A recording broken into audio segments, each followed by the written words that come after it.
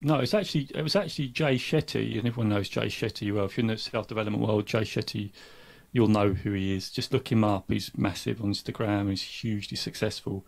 I think he he wrote a book, The Way of the Monk, I think, or something like that. No, that that was I think that was Robin Sharma, the guy we did a load of episodes on. Anyway, cut a long story short, he said there's friends for seasons and friends for life. There are friends that come into your life for a period of time, but they're not meant to be there for all time. Yeah. That's okay. And that's all right. It's like okay to have that. And then those those friends that will always be with you in some way, shape, or form. And in fact, I've just had a reply actually that, to the friend that I have for life. Actually, they were they were my best man at my wedding, and I don't near it. This is probably the regret that I have. I don't near enough reach out enough. So my commitment is going to be at least I'm going to be reaching out more often.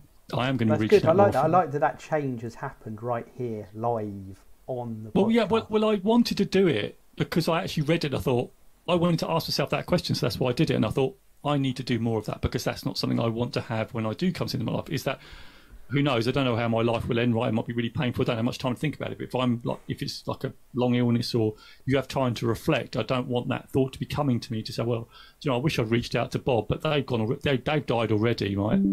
Um, that's too late then because they could die. Of course, the person, your friend, could die. Uh, so, you know, I really think this is so important. Um, but yeah, and and I just want to sort of think that it's okay to have friends for seasons and friends for life.